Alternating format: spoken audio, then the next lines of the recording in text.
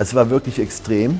Ich hätte mir jedes Haus, jedes Grundstück, jedes Boot, ob es 200 Millionen war, egal, vollkommen egal, was kaufen können. Aber du bist einfach dann durchgelaufen und hättest einfach sagen können, das ist schön, ich ziehe einfach ein über, über Nein, ich Montag. darf den ganzen scheiß Stadtteil. Fördern, fordern, Macht, Geld. Und dann wurde mir in die Brust geschossen, man versuchte äh, mir noch den Kopf zu schießen, dann biss ich den Arm, dann sch- schwang der noch weg. Also ich glaube, das ist eine göttliche Begebung gewesen, sonst wäre ich da verblutet, hundertprozentig. Und da kommt einer mit einer Knarre raus auf mich. Da sage ich, what the fuck, ich hab schon einen Schuss. Das Können zeigt sich erst, wenn man mehrfach auf die Schnauze gefallen ist, wieder aufgestanden ist. Und damit herzlich willkommen zu diesem neuen, absolut genialen, viralen Hit, Freunde. Heute geht es ums Geld, heute geht es um, um, um Reichtum, heute geht es um, um wirklich alles, was euch interessiert, Freunde. Unser heutiger Gast, der stand bis zum Jahr 2007 auf der Liste der 300 reichsten Deutschen. Ich rede nicht von mir. Plötzlich stand er auf der Liste des FBI. Also ein ganz spannender Talk heute. Macht mal einen großen Applaus und begrüßt mit uns zusammen Florian Hosen. Platz.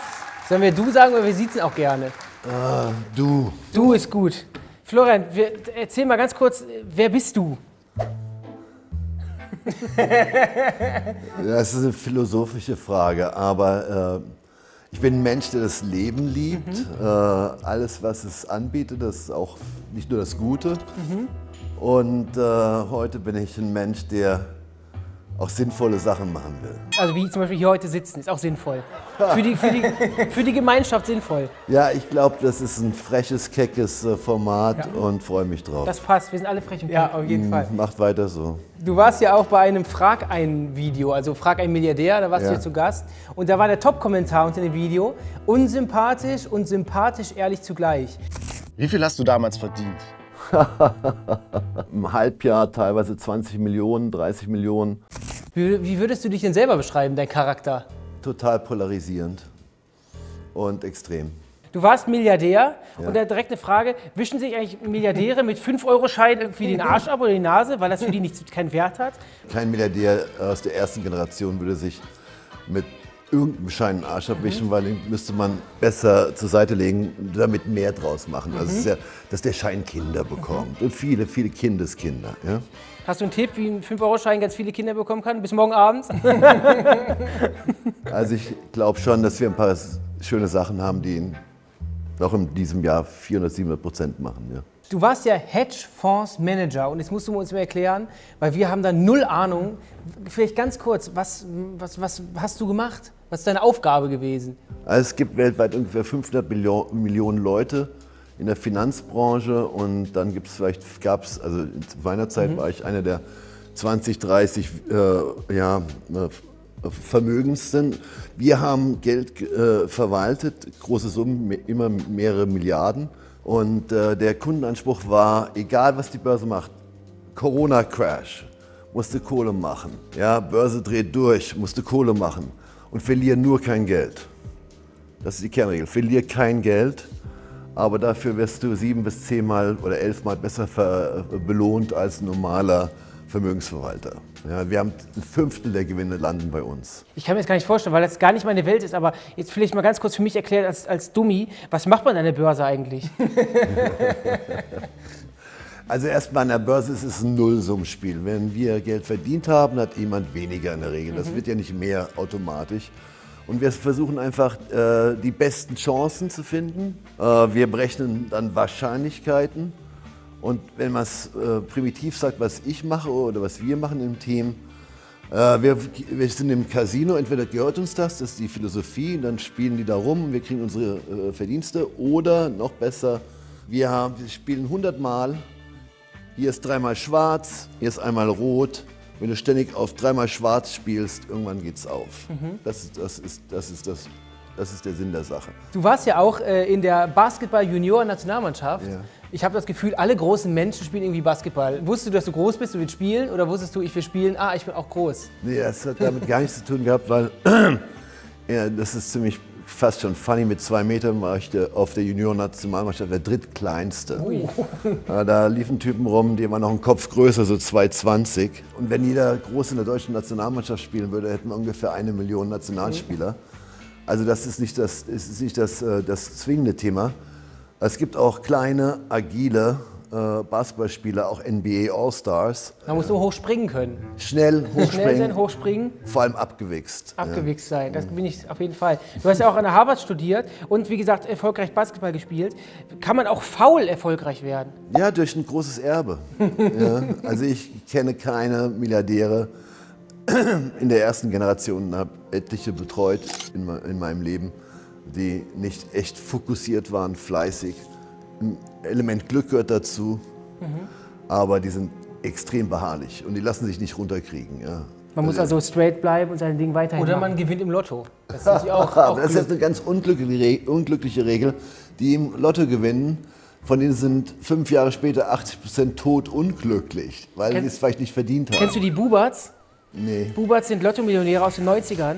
Die haben irgendwie wie viele Millionen 7,5 Millionen. 7,5 Millionen gewonnen und nach, ich glaube, nach nach einer halben Woche hatten, glaube ich, sechs Autos und einen Tierpark. Und, und das, Tierpark. das heißt, die gehen, sind mit dem Geld nicht gut umgegangen. Das heißt, man muss da gut haushalten können, oder? Ja, also man, äh, selbst in meiner, in meiner Sturm- und Drangphase, wenn es darum ging, äh, ein, Flugzeug oder ein Boot zu kaufen, ähm, da habe ich so hart verhandelt, dass die mich eigentlich alle zwei Stunden aus dem Büro rausgeschmissen haben. ja.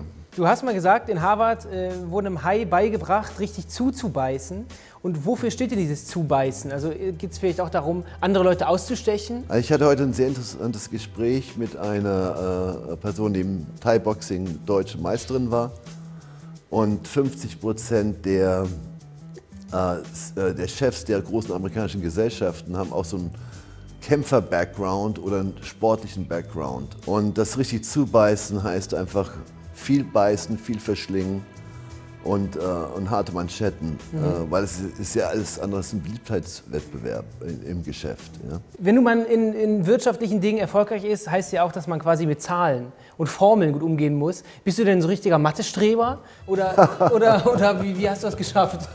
Also das viel, äh, da bin ich, man darf auch seinen Erfolg nicht mit seiner, äh, in welchem Land man geboren ist. Mhm ähm, wenn man aus der Mittelschicht kommt, hat man bessere Chancen, wenn man aus der sozialen unteren äh, äh, äh, Schicht kommt.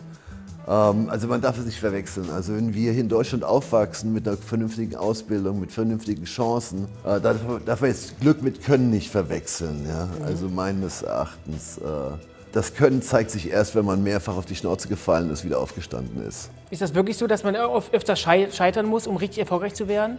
Also das, der, der, äh, die Fehler zu verteufeln, das ist der größte Fehler. Mhm.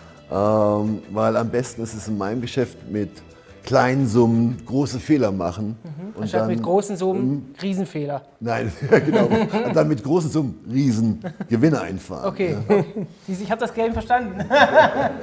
ich habe eine Doku über dich gesehen, da hat ein Freund gesagt, dass du immer gewinnen willst. Ähm, ist das auch so, wenn man mit dir Karten spielt oder Tischkickern, dass du dann auch gewinnen willst und wenn du verlierst, dann fliegt der Tischkicker? Oder wie kann ich mir das vorstellen? äh, ja, extrem ausgeprägt, ist auch fast schon krankhaft. Äh, also das liegt ein bisschen an meinem Opi, der uns eingetrichtert hatte, Josef Neckermann.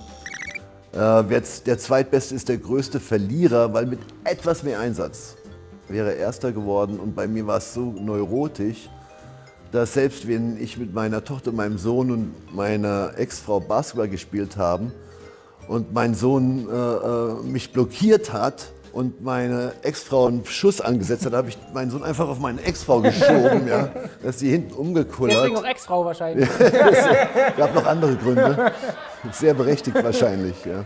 Irgendwann warst du dann quasi Milliardär, beziehungsweise du warst Hedgefonds, Hedgefonds Hedgefonds. Hedgefonds. Ja, deswegen könnte ich den Job nicht machen. was sind Sie? Hedgefonds? Hedgefonds. Und wie warst du das dann? Und dann hast du mal gesagt, 16 Stunden Arbeitstage waren so normal. Ja, klar. Wie, was macht das denn körperlich mit einem? Wie lange hält man das denn durch? Also, äh, das ist entspannt. Du kannst dir wirklich, du bist schon der Physis abhängig, aber ich habe bestimmt 20 Jahre im Schnitt nicht mehr als vier Stunden geschlafen. Aber du hast dann eine Putzfrau, du hast einen Fahrer, äh, ich hatte äh, zwei Schwimmbäder im, im Garten, äh, so einen kleinen Zoo, wenn ich mit Tieren abhängen wollte, zum Joggen war auch genug Platz. Es war alles taken care of. Und dann hast du noch vier Stunden Freizeit, dann hast du vielleicht noch eine. Du musst fit bleiben. Mhm. Deine Konkurrenten sind auch fit, also eine Stunde Sport am Tag und dann hast du noch drei Stunden Freizeit. Also für die Kinder, für mhm. die Frau. Aber das Leben ist ja schon sehr durchgeplant, oder? Wow. Ähm, das heißt ja, diese Leute sind Meister des Universums, aber eigentlich äh, hast du keine Freiheiten. Mhm. Kenne ich aus ganz vielen Filmen, dass die ganzen Banker und Hedgefondsmanager koksen und, und Drogen nehmen. Ist bei dir jetzt nicht so gewesen, hast du gesagt? Drogen waren nie so dein Ding, oder? Also ich kenne mich mit pharmazeutischen Produkten aus. Mhm. Ja. Also wenn du jetzt kokst, dann neigst, es, neigst du zur Euphorie. Ja? Mhm. Du findest dich super cool und jede Anlage ist top. Ja? Wenn du das ein bisschen einen Monat oder zwei gemacht hast, ist dein Kapital weg und du bist auf der Straße. Das passt überhaupt nicht. Äh, in, ich sag mal, in den legeren Studienzeiten mhm. ist das mir durchaus mal passiert. Ja. Aber eigentlich sollte man die Finger weg von Drogen lassen, Freunde. Nehmt keine Drogen, guckt YouTube. Kleiner Kommentar dazu. Mhm. Schaut euch mal ähm, Brainscans und MRTs an. Ähm, da gibt es äh, 72.000 Basisstudien. Wenn ihr wollt, dass euer Kopf aussieht wie ein Emmentaler Käse, do it. Oder guckt euch einfach Prinz Markus von Anhalt an. Dann werdet ihr, glaube ich, auch nicht so drogenreich. Hast du schon mal kennengelernt, Prinz Markus? Kurz auf Mallorca. Und, wie ist er drauf? Ich möchte nicht richten, ich kann es nur evaluieren. Skurril, er lacht, er lacht gern. Ja, Lachen, Lachen, Lachen ist gut für die Gesundheit, ja, äh, aber generell über die Themen lache ich nicht so viel wie er. Das stimmt, mhm. da hast du, glaube ich, einen anderen Humor. Irgendwann warst du ja milliardenschwer. Und da frage ich mich, kann man das irgendwie echt realisieren, dass man so extrem reich ist, dass man sich alles kaufen kann? Es war wirklich extrem. Ich hätte mir jedes Haus, jedes Grundstück, jedes Boot, ob es 200 Millionen war, egal, vollkommen egal, was kaufen können. Aber das war ja nicht der Plan, Milliardär zu werden, sondern Nummer eins. in dem, was du machst. Das wollt, wollte ihr ja auch mhm. bestimmt. Ja? Natürlich, klar. Und das ist ja auf einem guten Weg. Und äh, nee, es hat mich nicht so angefixt. Ja. Man kennt das ja, man läuft durch die Straßen und denkt so, boah, das ist eine schöne Immobilie und boah, wäre das schön. Aber du bist einfach dann durchgelaufen und hättest einfach sagen können, das ist schön, ich ziehe einfach ein über, über nächsten Nein, Montag. Ich den ganzen scheiß Stadtteil. Ja, oder so, ja. oder so. Da habe ich meine Ruhe. Also hat es mit dir nichts gemacht. Ich kann mir schon vorstellen, dass es Menschen gibt, wenn die so reich sind, dass die einfach sich alles kaufen und dann irgendwie sich komplett ruinieren. Du hast ja auch einige Sachen gekauft, ne? Man kann, nicht, kann mir nicht vorwerfen, dass ich diese Seite des Lebens nicht auch äh, äh genutzt hatte. Aber die, die Tragik an der Sache, auch in den ganzen Wall Street-Filmen und Wolf of Wall Street, als wäre das eine endlose äh, Koksen-Nutten-Party. Aber de facto hast du diese Arbeitszeiten. Mhm. Ich hatte einen Palast der arabischen, saudi-arabischen Familie in Mabea gekauft mit 2300 Quadratmeter. Da habe ich eine Nacht gepennt. Also die Realität ist, du häufst Spielzeuge an, mit denen du aber deine, gar nicht spielen kannst. Auf denen deine tausend besten Freunde ihre Zeit verbringen. Ja. Ist ja so, also wenn man viel Geld hat, wird man ja umschmeichelt. Benny kennt das, wenn er in den Club geht, dann kommen dann die 13-jährigen Zahnspangenträger und wollen ein Foto. Wie war es bei dir? Hast du immer gemerkt, Mensch, der jetzt zu mir kommt, der möchte meine Freundschaft oder der möchte vielleicht nur mein Geld? Oder wie hast du das denn gemacht? Also die, das Feld ist ungefähr so, ich hatte irgendwann mal in meiner Datenbank knapp 10.000 Leute in 63 äh, äh, in, äh, Industrien verteilt, also auf, um Informationen auszutauschen. Und in 30, äh, fast 40 Jahren hatte ich drei Partys geschmissen, zweimal für karitative, karitative Zwecke und einmal mit 40. Das war's. Und äh, da wird sich sehr viel eingeschmeichelt. Eigentlich wollen sie nur deine Anlageideen haben, mitfahren, äh, irgendwie auf einer Superjacht abhängen. Das ist eine ganz üble, falsche Nummer. Aber hattest du denn auch Freunde, die ganz normal verdient hatten, also vielleicht keine Ahnung, Schreiner waren oder Metzger und oder hat, das, hat das gar nicht in den Lifestyle gepasst, normale Freunde zu haben? Das mit dem Wort Freunde bin ich hyper vorsichtig. Ähm, aber da ich zwischen 12 und 18 jeden Sommer auf dem Bau gearbeitet habe, äh, hatte ich fast schon eine Präferenz für den Pizzabäcker. Da hing ich lieber ab als bei irgendeinem so Rechtsanwalt, der meine Mandate haben wollte. Ja. Nochmal ganz kurz um zu den Käufen zurückzukommen. Du hattest auch ein Privatzoo. Was ja. für Tiere waren denn da zu finden? Ach, es war doch über, war übersichtlich. Also Koalas? Es waren, ja, so oh, kleine Bären und, äh, ja, und äh, Papageien und dann für die Kids so ja, harmlose Sachen wie Ziegen und ja, Schafe und irgendwelche komischen asiatischen Enten und was immer da noch alles rumlief. Die Bubats, von denen wir eben gesprochen haben, die haben Esel gekauft. Ach, ist der ist immer noch da. Das Geld ist weg, der Esel ist immer noch da. Du hast eben schon gesagt, du hast es ja gar nicht wegen des Geldes getan. Wieso hast du denn dieses Business überhaupt gemacht? Ich habe, also du hattest ja eine, hättet ja eine Mathefrage gestellt, mhm. ja. Und äh, das Verhältnis mit Bildern und Zahlen das, ich war auch so merkwürdig als Kind teilweise, dass äh, die Hälfte meiner Lehrer meinten, ich müsste in die Sonderschule und die andere Hälfte hatte gemeint, ich müsste zwei Klassen überspringen. Mhm. Wie bei uns beiden. Ja, genau. Wer ist wer? Irgendwann war ja ein Kopfgeld auf dich ausgesetzt, 1,5 Millionen. Wie kam es dazu? Äh, es ist ein großes, äh, immer noch ein großes äh, Millionenvermögen in der Schweiz eingefroren.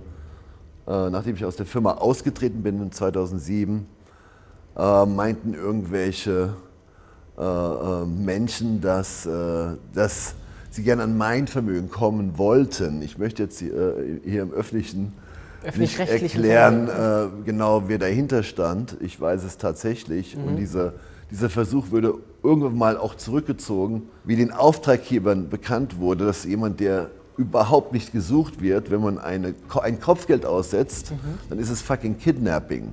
Mhm. Darauf stehen zehn Jahre. Und das wurde äh, äh, ganz klar kommuniziert. Auf einmal war die Kopfgeldjagd vorbei. Wie hast du denn erfahren, dass auf dich ein Kopfgeld, Kopfgeld angesetzt ist? Ähm, hast du so Flyer in der Stadt gesehen mit deinem Kopf? also es war funny, also äh, das war der Josef Recht, ein Privatdetektiv bekannter, der hat den Auftrag angenommen und dann hat er ein Video gemacht und dann hat er einen Berg Euros gehabt, die hat er glaube ich am Vormittag an der Bank abgeholt, am Nachmittag wieder zurückgebracht, um das zu verdeutlichen. Das gab es dann in vier Sprachen. Und weil ich das so äh, funny fand, habe ich auch eins gemacht. Mhm. Aber ich bin ja knauserig. Ich habe gesagt, für 10.000 Euro sagt immer mal, wer der Auftraggeber ist. Ja, aber bei 10.000 hat sich keiner bewegt. Ja. Aber schon krass. Also hattest du denn auch dann irgendwie Angst? Also das ist jetzt eine Herausforderung. Ja. Mhm. Das ist vor allem eine Herausforderung, weil ich doch vielleicht ein harter Hund war. Früher, den sollte man vielleicht nicht kidnappen. Man mhm. sollte ihn vielleicht auch nicht versuchen, das Geld abzunehmen, weil er könnte sich rächen. Mhm. Äh, und so gesehen, wenn es ihnen gelungen wäre, ähm, dann hätte sie vor der Wahl stehen müssen, lassen wir den jetzt frei, nachdem er kein Geld hat, oder lassen wir diesen Pitbull, damals war ich ein bisschen tough, lassen wir den, äh, äh, ja, äh, was tut er uns an, wenn der wieder, äh, vielleicht hat er noch ein paar Reserven, ja. Mhm. Also es war, kein, war nicht so funny, also nicht so lustig. Und äh, ich hatte damals den Luxus, dass ich äh, eine, schön, eine schöne Yacht hatte, Motorjacht, und zwischen Karibik und Pazifik und habe mir gedacht, also was machen wir denn jetzt? Ja? Also nicht nach Hause fahren mit mhm. meiner Mutter abhängen zum Beispiel, mhm. äh, weil die Putzfrau, die Hausangestellte meiner Mutter hat einen Peilsender gehabt. Ah. In der Jagd und die ganze Wohnung war äh, äh, verdrahtet. Das ist ja wie in so einem Actionfilm. Das ist ja krass, dass man das am eigenen Leib da mitbekommt. War das für dich nicht auch krass oder kannst du schon ähnliche Geschichten von anderen Leuten? Also nicht so viele, ja. Mhm. Und, äh, und dann habe ich mir gedacht, ja, scheiße, das ist ja ein schwieriges Schachspiel. Wie bewegst du jetzt, ja. dich jetzt? Du kannst mhm. keinem trauen mehr. Aber Gott sei Dank hatte äh, mein Kapitän das noch nicht gecheckt. Der war Amerikaner und er war auf einem anderen Planeten. Äh, mhm. Und dann stellte sich die Frage, okay, wenn der nicht weiß und der Stuart auch nicht, wo wir jetzt hinfahren, dann kann das der Josef Rech auf keinen Fall mhm. wissen. Und dem schleuse ich noch falsche Spione rein. Dem schleuse ich noch so Quellen mhm. rein, die 1,5 Millionen abrufen wollen, dass der viel informiert ist. Mhm. Der hat dann Chile gesucht, Venezuela, aber ich war äh, sechs Monate auf der Pazifikküste, äh, Mexiko runter bis nach Peru und dann drei Monate in der Karibik. Und dann hatte ich meine Ruhe.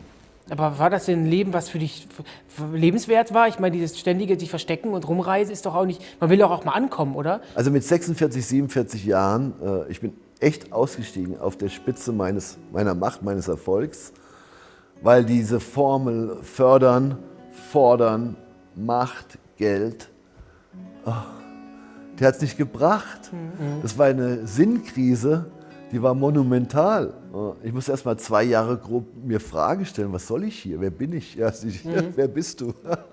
Ist es denn so, dass du manchmal auch dir die Frage gestellt hast, war es das jetzt alles wert überhaupt? Dass du vielleicht nicht ganz am Anfang zu, zu, deinem Leben gegangen bist und gesagt hast, hätte ich nicht einfach was Normales machen können? Oder hätte ich, hätte ich zwar jetzt keine Yacht, aber ich hätte auch kein Kopfgeld, was auf meinen Kopf ausgesetzt ist? Also, A, ich war nicht normal.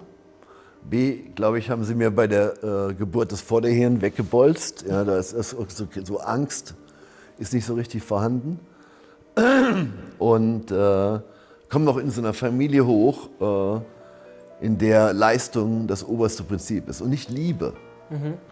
Äh, und, dann, äh, und dann hatte ich keinen Glauben, null.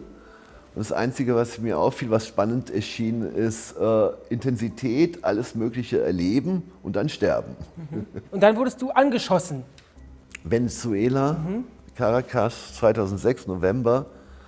Ähm, ich lasse es einfach mal stehen. Attentat oder Überfall. Und ähm, also es wurde viermal aufs Fenster geschossen, bum, bum, bum, auf dieselbe Stelle, dann war das Fenster kaputt. Die waren auf dem Polizeimotorrad. Ein bisschen merkwürdig, oder? Und dann wurde mir in die Brust geschossen, man versuchte äh, mir noch einen Kopf zu schießen, dann biss ich den Arm, dann sch- schwang der noch weg, schoss meinem Bodyguard ins Knie. Äh, und ich blutete echt wie so eine abgestochene Sau. Hast du irgendwas gespürt? Schmerz oder gar nichts, sondern nur. Also ich, bin dann, ich konnte noch aufstehen, ja, deswegen sind ja die Beine nicht kaputt. Der Bodyguard hat äh, rumgeflennt, hat erst zwei Klatschen bekommen. Was ist das für ein fucking Knieschuss, Mann? Mir, ey, meine ganze Hose ist rot, mein Hemd auch halb rot. Das kommt wie so aus so einem, aus einem Gartenschlauch, die, die Suff, die, der, die Saft, der Saft raus. Also, also riesen Stau, sechs, sieben Spuren Stau. Da ist irgend so ein Krankenwagen. Äh, Also ich glaube, das ist eine göttliche Begebung gewesen, sonst wäre ich da verblutet, hundertprozentig. Und klopft da wie so ein Bescheuerter, nachdem, nachdem der Bodyguard Bitch geslappt wurde, äh, äh, an der Tür. Äh, und da kommt einer mit einer Knarre raus auf mich. Da sage ich, what the fuck, ich habe schon einen Schuss. Also ich sprach schon gut Spanisch und hatte aber 5000 äh, Dollar in meinem, in meinem Socken. Jetzt auch? Und, äh, und dann, das bringt, verursacht Wunder, ja. Und dann fuhren die mich mit Rotlicht in so ein super affengeiles Notfallkrankenhaus. Und die hatten eine Maschine, die mein Blut filtriert hatte. Also ich brauchte keine Konserven. äh, Konserven. Und dann durfte ich nach äh, grob 200 Stichen innen und außen, Milz weg, Lunge weg, also linke Lunge größtenteils weg, äh, Kugel im Rückenwirbel. Die steckt doch irgendwie noch drin, die Kugel, Ja, oder? die ist zu nah am Nerv. Äh, da darf man echt nicht dran rumfummeln. Also ich hoffe auch, dass sie dort bleibt. Ja, ich die Daumen. Und dann äh, 48 Stunden später habe ich einen Abgang gemacht nach Miami. Hattest du in dem Moment denn irgendwie auch vor Augen, das war's jetzt? Weil es steht ein Typ in der Knarre vor mir, ich höre Schüsse, über, werden Leute angeschossen. Pass auf, Dennis, die Frage ist echt geil, weil Super. ähm, das Folgendes durch bei mir durch den Kopf gegangen, weil während ich da an dem Ding da rumgehammert habe von, dieser, äh, von diesem Auto, äh, hatte ich auf der anderen Hand das Telefon, weil die erste Reaktion, krass, ich bin voll abgeschossen worden, habe noch Haare von dem Typ von seinem Arm in meinem Mund, ein bisschen Fleisch. Ich glaube, ich muss meine Frau anrufen. Äh, Und dann ähm, telefonierte ich mit Susan und sagte, ey, ich bin abgeballert worden, ich weiß nicht, ob ich es schaffe. Äh, ich liebe dich, ich liebe die Kinder und by the way, das ist jetzt kein Insider-Tatbestand. Morgen kommen die Nachrichten in Venezuela, bis die in Europa landen, verkaufst du alle deine Aktien. Ja, bevor die einbrechen. Ja? Und äh, das war also einerseits liebevoll, andererseits wirtschaftlich. Also Liebe und Business wieder kombiniert. Ja, das ist selbst gar mit, nicht der so leicht, Blut, mit ja. der blutenden Wunde, quasi halbtot, hast du noch ein bisschen noch ans Geschäft gedacht. Ja, es ist doch. Äh, Ich habe mir das- eine Pizza bestellt. Das auch die, das sind, es geht um, um die Treuhandfonds der Familienmitglieder. Und dann wurdest du auch irgendwann festgenommen. Wie, wie, lief das ab? Oh, das wie lief die Festnahme ab? In einem Museum war das doch, oder? Es war ein ganz wunderschöner Tag in Italien, mit deiner Familie, glaube ich, ne? War mit äh, äh, meinem Sohn, meiner Ex und äh, der Freundin meines Sohnes in den Uffizien. Äh, das ist eine geile Galerie in Florenz. Ja, genau, Florenz. Ähm, das, war, das war wirklich wie ein FBI, also wie ein Krimi-Hardcore. Ich wollte mir dann den heiligen Florian anschauen. so eine Art, wie so ein alter äh, Christenjäger, der dann äh, Christen, äh, christlich wurde. Und auf einmal standen da so sechs äh, äh, bedrohliche Italiener um mich drum und äh, legten mir Handschellen, wollten mir Handschellen anlegen. Oh fuck, die Gesichtsausdrücke bei meiner Ex, Konrad und Michaela hieß die, die waren vollkommen schockiert. Ich war natürlich auch, ich habe mir gleich gedacht, soll ich jetzt aufmischen noch? Äh, 6 zu 1 und das sind Vollprofi Squadra Mobile. Das ist die härteste Truppe, die sie in Italien haben. Weil die in Brutal sich festgenommen haben oder haben die gesagt, Signore, Signore, Äh, oder was? Wie dobbiamo fare qualcosa con lei. Genau. Bella. Irgendwas mit Milch, Questo ist noch so bla bla bla, irgendwie Interpol, ja. Und dann äh, stand unten direkt im, in diesem äh, Museumshof, sehr feudal, so eine verdunkelte, praktisch Staatslimousine. Die waren super professionell. Ich würde fast sagen, so korrekt wie die deutsche äh, BKA, LKA-Truppe. Und dann kam ich in so einem Haus an. Das konnte von außen, war, sah aus wie ein Wohnhaus. Da wurden als, äh, die ganzen harten Jungs erstmal platziert. Mhm. Und dann sagten die mir, so richtig nett waren die auch nicht. Die haben dann böser, guter gespielt, mhm. wollten irgendwelche, wo ist ihr Auto, wir geben Hafterleichterung, wir machen, mhm. sie lassen sie wieder frei, die ganzen Spiele. Und dann sagte ich, ich voglio solo unicamente un avvocato. Ich möchte einen Anwalt. Mhm. Da schaute der Gute den Bösen an und sagte, naja, questo è un professionale, perdiamo nostro tempo. Wir verlieren unsere Zeit, der Typ weiß, was er macht. Mhm. Und die waren echt professionell und dann haben sie gesagt, wo du jetzt hingehst, sind die nicht so nett wie wir.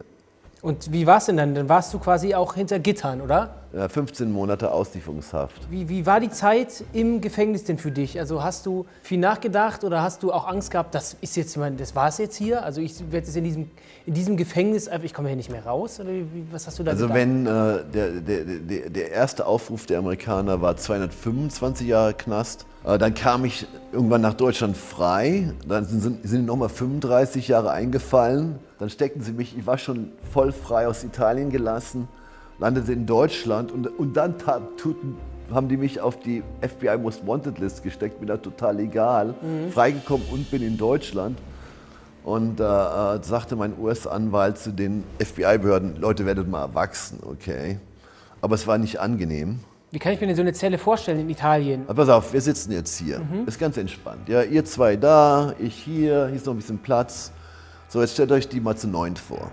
Boah. Äh, und mit dem Triple-Decker, drei Triple-Decker-Betten. der Knast, also das Gefängnis, ist ein mhm. Knast, ist für 320 gebaut worden, hatte zu der Zeit, in der ich war, 1050 Boah. Insassen. Und wenn es ein bisschen stressig wurde, einer ein, so richtig nicht gut drauf war in der Gruppe von neun, dann wurde er vom 2,20 Meter nachts aus dem Bett gestürzt auf den Zementboden. Dann hatte man wieder mehr Platz, ein bisschen mehr Ruhe. Konntest du dich gut durchsetzen in deinem Zimmer oder warst du quasi eher der ruhige Part, der ha. sich rausgehalten hat? Oder warst du der, der die Leute aus, seinen, aus den Hochbetten rausgeworfen hat? Ja, also ähm, damals galt ich als dieser äh, 200 Millionen Reich in Italien im, im Gefängnissystem und war ohne Zweifel äh, Nummer eins Schutzgeldopfer im gesamten italienischen Knastsystem. Das heißt, jeder äh, möchte das Taschengeld seiner Kinder außen aufbessern und vielleicht mal äh, äh Marlboro rauchen. Mhm. Ja? Und äh, dann musste ich mich auch ein bisschen nonverbal einbringen, überzeugend mhm. und auch meine Seilschaften schließen. Wie sieht denn dein aktuelles Leben aus? Bist du jetzt ein freier Mann oder kann hier jetzt auch gleich die Nein, ich bin in Deutschland absolut frei. Mhm. Äh, ich habe einen Prozess in der Schweiz. Äh, da kann ich nicht viel zu sagen, aber äh, ich bin nach diese angeblichen Taten liegen jetzt, es ist ziemlich krass, 17 bis 14 Jahre zurück. Kannst du mir mal kurz sagen, was das für Taten sind, die dir vorgeworfen werden? Das äh, fällt in die Rubrik Kursmanipulation mhm. und äh, aus den entstandenen Gewinnen, äh, das ist Geld, wäre dann laut ihrer Aussage Geldwäsche. Mhm. Ja. Aber wie gesagt, das darf man auch mal sagen, ich bin nicht verurteilt, mhm. und, äh, aber medial. das heißt, du darfst gar nicht mehr nach Amerika reisen, weil dann wirst du quasi... Also äh, es gibt bessere Reiseziele, so wie Bayerischer Wald, ja, ja. Passau. Hm? Du betreibst auch einen YouTube-Kanal, habe ich gesehen. Ja. 142.000 Abonnenten, bald 420.000 nach, nach deinem Besuch hier. Welchen Content bietest du denn deinen Zuschauern? Was gibt es zu sehen? Also ich habe ja vorhin schon gesagt, äh, äh, der Schwerpunkt meines Lebens, und dafür bin ich dankbar, es geht um Sinn, es hört sich vielleicht plakativ für alle an, es geht auch um Geben mhm. und Liebe. Äh, ich teile als, als Kapitalmarkt-Insider mein Wissen über Wirtschaft Investieren mhm. mit um Gemengenlagen wie, äh, ja, wie euch das Geld demnächst geklaut wird. Mhm. Das heißt Finanzrepression und verschiedene andere Themen. Ähm, auch in der Corona-Krise haben wir äh, wissenschaftliche Themen äh, sind wir angesprochen. Wir haben gesagt, äh, der Virus entschleunigt sich mit wärmerem Wetter zu 70 Prozent. Drosten sagte 17, wir hatten recht. Ja, das ist ganz wichtig und dann bin ich in zwei karitativen Organisationen. Ich vertreibe ein, ein Marienbuch, mhm. äh, was mir mein Leben rettete im Knast, weil mhm. sonst wäre ich ja nur gewalttätig gewesen mhm. und äh, total depressiv. Äh, und wir wollen an, äh, wir arbeiten jetzt an einem Waisenhauskonzept, in dem Waisenhauskinder eine Spitzenausbildung bekommen. Also zweieinhalb Waisenkinder ein Lehrer wie in den elitärsten Privatschulen. Das reizt mich enorm, weil wir doch, das hatte ich auch schon gesagt, wir sind ziemlich glücklich, wo wir aufgewachsen sind. Ich habe mal in Liberia, Liberia, Westafrika, eine Schule gebaut. Da war jedes vierte Kind vollweise in der Schule. Ja? Und, äh, und ich habe damals nicht genug dieser Sachen gemacht. Und heute ist das, sind diese Sachen zwei Drittel meiner Aktivitäten. Freunde, habt ihr irgendwelche Fragen an Florian? Dann natürlich in die Kommentare rein. War ein sehr interessanter Talk, Florian. Hat sehr viel Spaß gemacht. Und besucht ihn natürlich auf seinem YouTube-Kanal. Hier oben gibt es ein Video von Funk. So verdienen Influencer auf TikTok Geld von Pocket Money. Und darunter gibt es unseren Talk mit Ron Bilecki. Beides kann ich euch auf jeden Fall wärmstens ans Herz legen. Wir drei machen jetzt einen TikTok zusammen, würde ich sagen. Gerne. Finde ich gut, oder? Muss man mal machen. Auf Worldwide Wiedersehen und Farewell. Tschö. Aya,